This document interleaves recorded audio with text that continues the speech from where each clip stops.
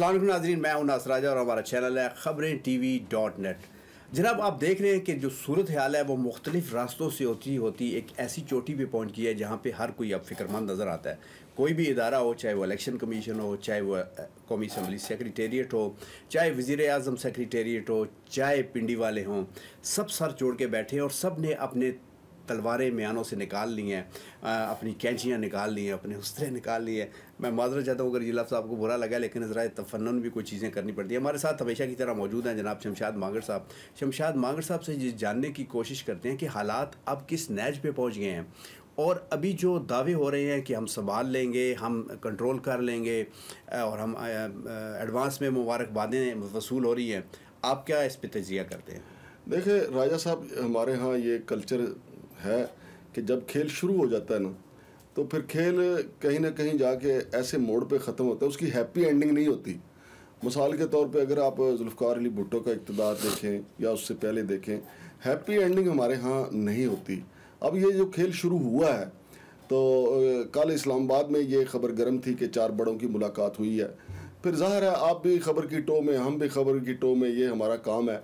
तो जो कुछ खबरें मिली हैं, कहा यह जा रहा है कि चारों बड़े जो हैं हमारे इस नतीजे पे नहीं पहुँच सके कि इस मामले को खुश असलूबी से तय कर लिया जाए। वज़ी अजम अपनी जगह पे अपना मौक़ लिए हुए हैं, जबकि हमारी इस्टेबलिशमेंट का अपना मौक़ है और जबकि और दूसरी तरफ़ अगर देखें मुतहदा अपोजिशन तो अब अपनी पोजिशन ले चुकी हुई है। अब उसका पीछे हटना मुझे नहीं, मेरा नहीं ख्याल के मुमकिन में थे मुमकिन में से है। अगर वज़ी दाखिला को आप देखें तो वो बड़े कॉन्फिडेंट भी नज़र आ रहे थे, लेकिन जो दो बातें उन्होंने कहा कि मैं वज़ी अजम जनाब इमरान ख़ान को मुबारकबाद देता हूँ तहरीक अदम अतमाद की नाकामी की। इसके पीछे कोई बड़ी खबर हो सकती है कि आखिर चूँकि आपको पता है कि ख़ुद शेख रशीद साहब कहते हैं वो गेट नंबर चार के आदमी हैं। तो हो सकता है कि उन्होंने कोई गेट नंबर चार से खबर लेने के बाद ये खबर दी हो। लेकिन कोई हतमी नहीं कहा जा सकता। लेकिन राजा साहब ज़ीर दाखिला ने उसके साथ ही ये भी कहा कि वज़ी अजम साहब मैं ये समझता हूँ कि वजारत उज़मा आनी जानी चीज़ है। असल में ये है कि इनकलाब बर्पा किया जाए। तो इससे मुझे ये ये भी लगा कि कोई हतमी पोजीशन अभी नहीं है क्योंकि वो वज़ी अजम को इनकलाब बर्पा करने की और वजारत उज़मा जाने की भी हल्की सी नवीद दे रहे हैं। अच्छा शमशाद साहब आपने देखा होगा कि ये वाकई बात ठीक है कि वज़ी दाखिला जो है वो एक ख़ास हल्के से उनका ताल्लुक है और वो हमेशा अपने उसमें जब छः बालों का ओवर करवाते हैं और एक आध बॉल रावलपिंडी की भी वो करा जाते हैं। नहीं वो अक्सर कहते हैं कि मेरे हल्के में जी एच होता है। हाँ वो ठीक है। लेकिन इस मरतबा उन्होंने खुल खुला के ना किसी से कोई मुतालबा किया है, ना किसी से कोई दरख्वास्त की है और ना कोई अंदर की बात की है। अमूमन वो ऐसे भी करते हैं कि जैसे हाथी के दांत दिखाने के और खाने के और सियासत भी खेल जाते हैं। आप अगर उनका तजिया करें तो क्या करते हैं? शेख रशीद साहब का? जी। देखिए शेख रशीद साहब जो है वो मुतदा अपोजिशन में नाकबिल कबूल हैं क्योंकि पिछले जो तीन साल हैं मेरा नहीं ख्याल कि हुकूमत के वज़ीर इतलात ने इतनी जो है वो तीर अंदाजी की हो मुतदा अपोजिशन पे जितनी शेख रशीद ने की है। शेख रशीद वज़ीर रेलवे थे लेकिन तीर अंदाजी वो मुस्लिम लीग नून पे और पीपल्स पार्टी पे करते थे। और अब देखें वो वज़ीर दाखिला हैं लेकिन उनके जो ताक ताक के निशाने लगाते हैं तो इसलिए मुतदा अपोजिशन में उनकी गुंजाइश नहीं है। लिहाजा वो बिल्कुल वाज पोजीशन लिए हुए हैं और आज उन्होंने एक और बड़ी बात की जो कि पी टी आई के अरकान के लिए लम्हा फिक्रिया होनी चाहिए। उन्होंने कहा कि मैं इस बात को तस्लीम करता हूँ कि हल्के में मेरा वोट जो है वो बीस, तीस, चालीस हज़ार होगा, लेकिन सत्तर हज़ार वोट मैंने पी टी आई का लिया है तो मैं एम एन ए मुंतखब हुआ हूँ। तो अच्छी बात है, वो सच बोल रहे हैं। लेकिन दूसरी तरफ़ जो है, मैं नहीं समझता कि शेख रशीद साहब जो है, वो हालात का दुरुस्त तजिया कर रहे हैं, कि वो वज़ी अजम को कब, कबल अज वक्त खुशखबरी दे रहे हैं कि तहरीक अदम अतमाद नाकाम हो जाएगी। मैं ज़ाती तौर पर राजा साहब, मेरा ये ख्याल है कि तहरीक अदम अतमाद अब जहाँ तक चली गई है वो उसके हैप्पी एंडिंग उसका नहीं होने वाला। अच्छा मगर साहब अगर आप थोड़ा सा जायज़ा लें सियासी जायज़ा लें तो आप बताएँ कि इस वक्त इमरान खान अगर एक स्टेप पीछे हटने की कोशिश करें तो वो क्या क्या कर सकते हैं? और अगर मुतदा अपोजिशन एक स्टेप पीछे हटने की कोशिश करे तो वो क्या क्या कर सकती है? यानी हालात खुश उसलूबी से अगर हल कोई करना कराना चाहे तो क्या क्या हो सकता है? राय साहब इस्लामाबाद में फैली हुई खबरें जो है ना उन सबको इकट्ठा किया जाए। तो वो मसला है एक्सटेंशन का। अब ये मुझसे ने पूछी जी किसकी एक्सटेंशन का? वो चेयरमैन नैब की एक्सटेंशन भी हो सकती है किसी और की एक्सटेंशन भी हो सकती है। अगर एक्सटेंशन हो जाए तो मामला हल हो जाए। एक्सटेंशन नहीं होती तो ये मामला हल नहीं होगा। आपका क्या ख्याल है कि एक्सटेंशन हो जाएगी? मेरा नहीं ख्याल। उसकी वजह यह है कि अगर एक्सटेंशन होती है तो फिर वज़ी अजम का मुस्तबिल बिल्कुल ही दौ पे लग जाता है। सही बात सही बात आपने की है। अच्छा ये बताएँ कि इस पर जब हम थोड़ा सा हमें फ़ायदा पहुँच रहा होता है तो फिर हम सब की बात मानने के लिए तैयार हो जाते हैं। और जब हम, उसका नुकसान हमें हो रहा होता है तो हम अकड़ जाते हैं। आखिर हमें एक स्टेप क्यों नहीं रखना पड़ता और एक जगह हम क्यों नहीं कायम रहते? राजा साहब, हमारे, मैं बार बार आपसे कहता हूँ कि हमारा जो कल्चर है ना, हम ये हिंदुस्तान, पाकिस्तान, बांग्लादेश, ये एक जैसा ही कल्चर है।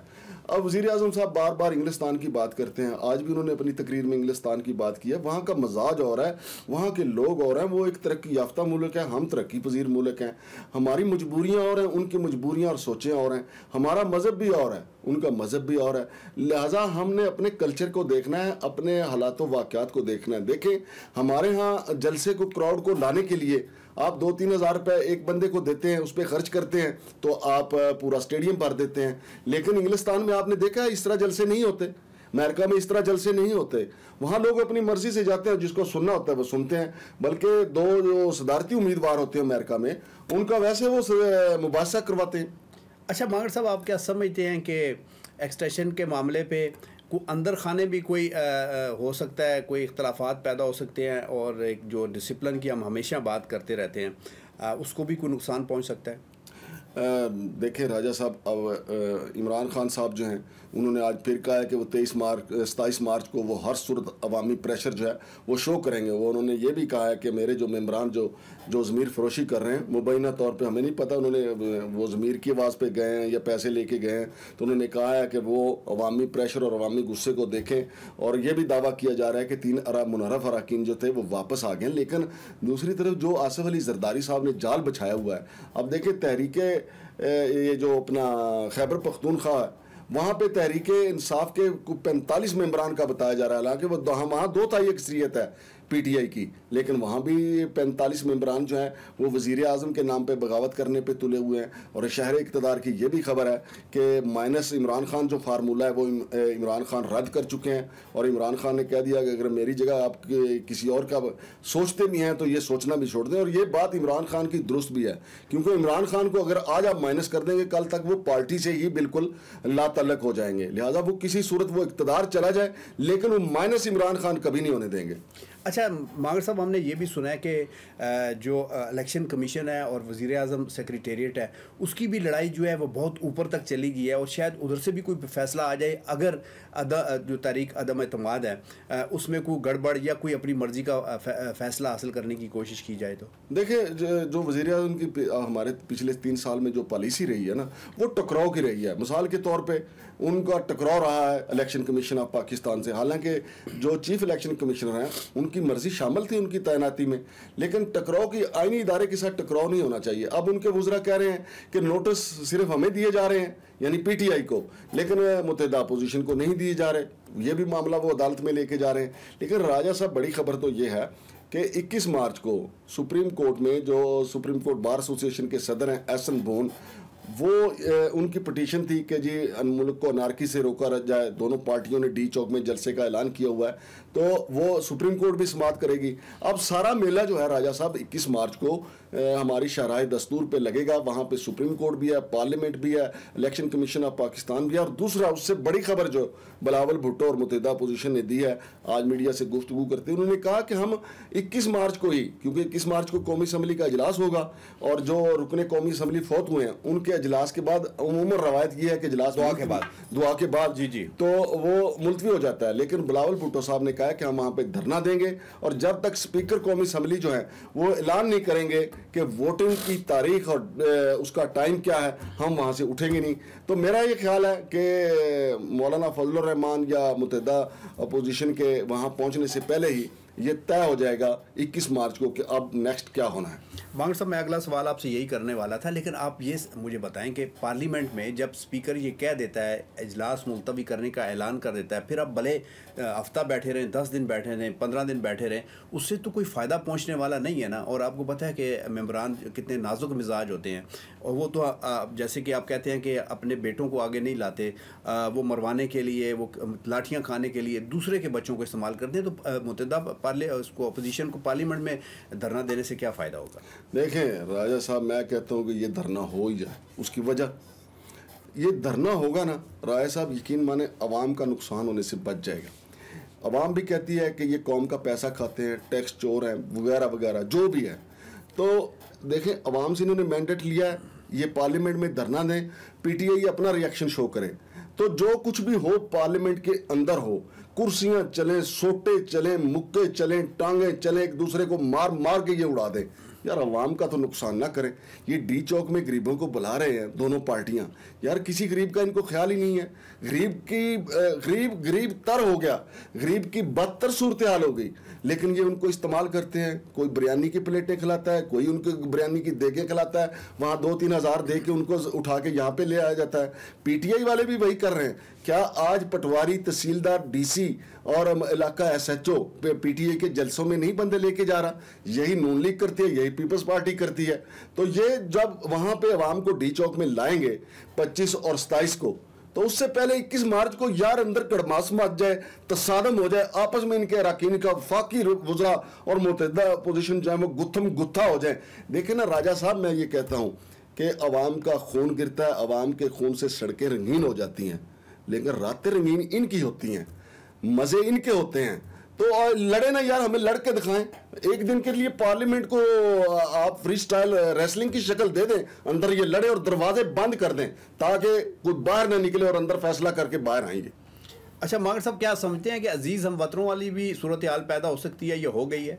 भाई, इसमें पाकिस्तान है पाकिस्तान में कोई कुछ भी हो सकता है। और पाकिस्तान में कोई भी वज़ीर अजम की कोई पता नहीं चलता कि किसके नाम कुर्रा निकल आए और कब क्या हो जाए, कब मेरे अज़ीज़ हम वतनों कब मुल्क कौम के वसी तरफ़ मफाद में कौन सा कदम उठा लिया जाए। और ये हो सकता है। लेकिन जो अगर आइन और कानून के मुताबिक गेम आगे चलती रही और तहरीक अदम अतमाद कामयाब हो गई तो अगले वज़ीर अजम के लिए शबाज शरीफ का नाम लिया जा रहा है, लेकिन ये भी हो सकता है कि वज़ीर अजम आसफ अली जरदारी भी किसी को ट्विस्ट करके आगे आ सकते हैं, क्योंकि ये सारा खेल जो बनाया है तो बाज़ाहिर तो आसफ अली जरदारी साहब ने बनाया ना? तो मगर साहब, आपका बहुत शुक्रिया, नाजरीन, आपका भी बहुत शुक्रिया। लगता ऐसा है कि ये हालात वाकई इस नैच पे पहुँच गए हैं कि शायद अंदर आपस में ही टकरो टकरी काम हो जाए। और, लेकिन मुझे एक चीज़ और भी लगती है कि इस मरतबा ये जो तब्दीली अगर हो भी होगी तरीके अदम अतमाद कामयाब होगी तो दूसरी हुकूमत भी मज़े से ना मज़े लूट सकेगी, ना इकतदार की चाशनियाँ ले सकेगी, ना फ़ैसले कर सकेगी, और ना ही आवाम को वो इसकी कुछ उसका फल मिल सकेगा, ये जो तब्दीली आई है, क्योंकि ऊपर दुनिया के जो हालात हैं वो बदल रहे हैं, इसलिए सबको चाहिए कि फूंक फूंक के कदम रखें, और ऐसा फ़ैसला न करें कि वक्ती तौर पर तो हमें नज़र आए कि बहुत मुल्क का शायद फ़ायदा हो गया है, बड़ी जमहूरीत की बले बले हो गई है, बड़े इंसाफ के फ़ैसले हो गए हैं, लेकिन कुछ फ़ैसले ऐसे भी होते हैं कि जो बड़े दानशमंदाना तरीके से किए जाते हैं, जो मुल्क के लिए होते हैं, जो आवाम के लिए होते हैं, जो जमहूरी कुतों के लिए होते हैं और जो सब के लिए होते हैं। आपके लिए, मेरे के लिए। हम सब दुआ करते हैं कि अल्लाह ताला हमारे पाकिस्तान को सलामत रखे और इसमें कोई ऐसी गड़बड़ ना हो कि हम फिर अपने ज़ख्म चाटते रहें। अपना ख्याल रखिएगा, हमारा चैनल सब्सक्राइब कीजिएगा, लाइक कीजिएगा, शेयर कीजिएगा। पाकिस्तान जिंदाबाद।